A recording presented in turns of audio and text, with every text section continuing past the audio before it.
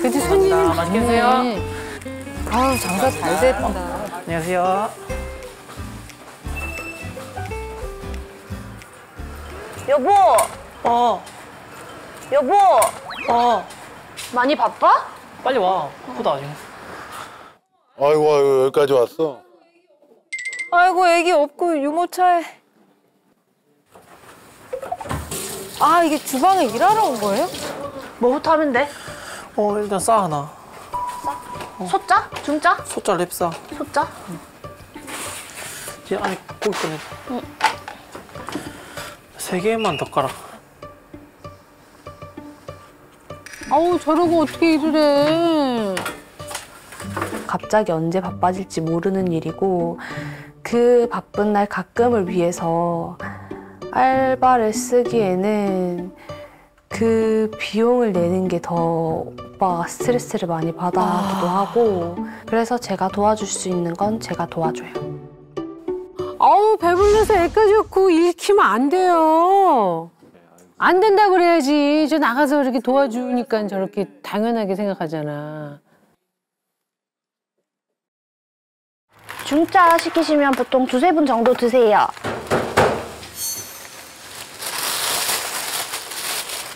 궁금하다고 해서. 아, 정말요? 감사합니다. 저거 지금 몰라서 나중에 나면 허리 되게 아파.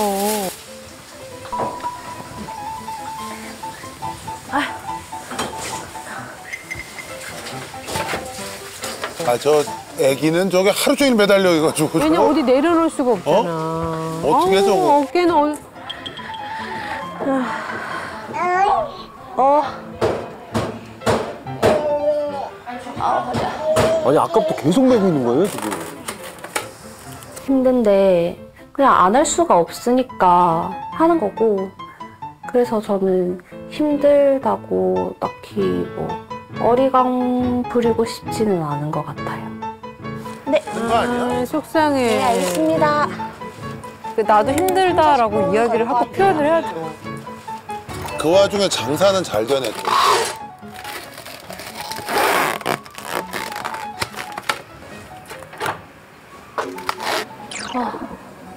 오늘 완전 폭풍 같았네. 여보, 나 오늘 힘들었으니까 일단 5만 원 줘. 그래 일단 받아야겠다. 뭐라고? 일단 5만 원. 음, 천, 천칠백 원 줄게. 아이고, 아이고, 이? 소주 한 병. 아, 왜 전체 나 소주도 못 먹는데? 내가 먹, 내가 먹을 거다. 소주 6천 원이에요. 아 이게 뭐야? 아 줘야 돼. 줘야 돼요. 그래 네. 줘야지. 그걸 왜 자기가 먹는 걸 왜 내 알바비로 자기가 먹어? 네 돈이 내 돈이고 내 돈이 네 돈이지. 왜? 나도 알바비 줘. 알바비나마나 음식물 처리기나 하나 사주든가. 아니 콧물 좀 요즘에 환절기라 그런지 많이 생겨가지고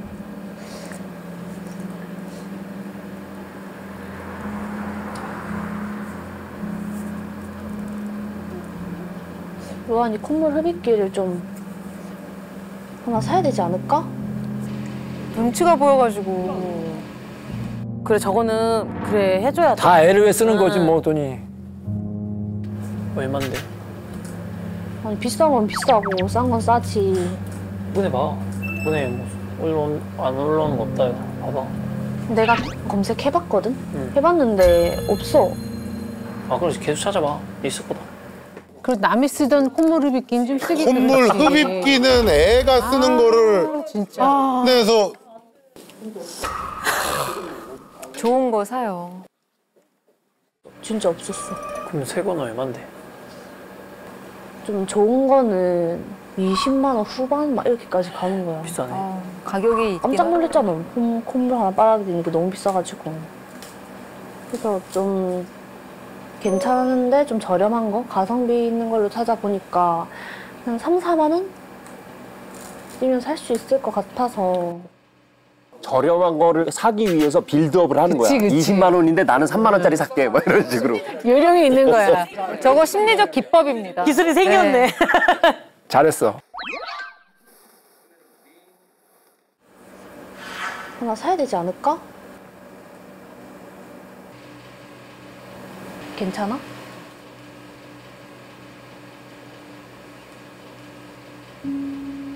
아니 보니까 뭘 살 때마다 눈치를 보는구나. 저는 경제권이 아예 없어요.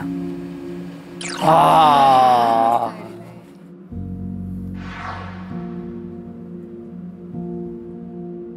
처음부터 생활비를 준 적이 없었어요. 원래 아기를 낳으면 나라에서 지원금을 주잖아요. 작년에는 80만 원씩 나왔었거든요. 근데 로안이가 이제 한 살이 되고 어린이집도 보내기 시작하다 보니까 지원금이 이제 10만 원씩 저한테 오고 있지 않는 상황이에요. 오빠랑 결혼하기 전에 일하면서 모아둔 돈이 있었어가지고 여유 자금으로 가지고 있던 돈들을 임신 기간 동안 생활비로 썼었어요. 왜? 남편이 돈을 잘 버는데 왜? 왜 생활비를 따로 안 줘요? 아 너무 차이 난다. 아니 그러면 지금까지 생활비는 그냥 그 지원금으로 다 생활한 거야 집에서 먹고 살고 하는 건 오빠가 식비 같은 거는 자기 카드를 주거든요. 오빠 카드로 이제 마트에서 결제하는 거는 다 오빠 카드로 써요. 근데 아무래도 먹는 것만 나가는 게 아니잖아요. 살다 보면 애기 용품 뭐 하다못해 집에 샴푸, 휴지 이런 생필품 같은 것도 다 그 지원금으로 해결하고 있었어가지고 지은 씨도 어렸을 때부터 일을 했다고 했는데 결혼 전에는 어느 정도 좀 돈을 모았었어요? 어 저도 결혼 전에는 거의 한 2,400만 원 정도 근데 그거 다 어디다 놨어요? 결혼할 때 혼수 사온 느낌이라고 해야 할지 아, 혼수 모르겠는데 안 하고 그냥 오빠한테 그 돈을 네, 다 맡겼어요? 네. 아내가 기여도가 상당히 높네 그러면. 근데 아니 또 당당하게 좀 큰 소리 좀 치세요. 응? 왜냐하면 제가 보기에는 부부는 평등해야 되는데 지금 상관계가 되고 있어. 아니 내가 물건 살 때마다 생활비 살 때마다 그 실은 수로에 대해 부탁해야 되는 거는 평등한 관계가 아니거든요.